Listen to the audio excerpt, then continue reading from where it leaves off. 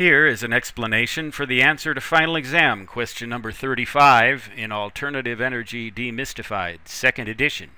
If you have the printed book, please refer to page 317. A grid intertie wind power system for a residence or small business might include any or all of the following devices except one. Which one? Well, you will never find a penstock in a wind power system of any kind. So the correct choice is B.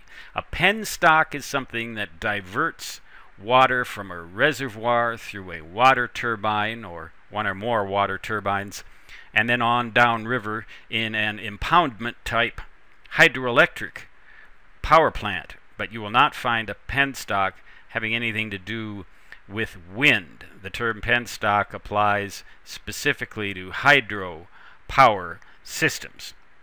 So let's take a look at a an example of a grid intertie wind power system. This particular system does not include batteries. Some do. Uh, the batteries help to provide you with power in the event you have a windless day and a power failure at the same time. Uh, also, a, a, the batteries help to buffer the uh, power from the wind turbine so that you can get a constant stream of power from those batteries.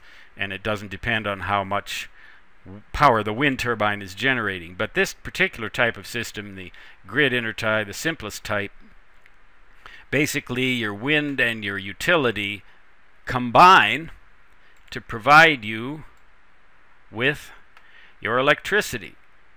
More wind you use less utility power. Less wind, you use more utility power. The power directing circuits control all of that and give you the amount of power that you need pretty much regardless of the situation. In a specific case where you are using less power than the wind turbine is actually producing, this power directing circuit in some states can sell the excess back to the utility and help to offset your monthly electric bill. Uh, I don't know if this has ever been done. If it has, uh, I'd appreciate it if somebody would tell me if they've ever had a situation where they had so much wind power in a given month that it exceeded the amount that they needed and the excess was bought back by the utility and the utility company then sent them a check instead of sending them a bill. I wonder if that's ever happened. Uh, it, it, would be interesting to see if that ever happens. In, in our society, sometimes I wonder a little bit. Uh, it's always the consumer that gets the short end of the stick, so it would seem almost axiomatic that that could not happen. But, but I would think that it could or there could be averaging of your utility bills over a period of time.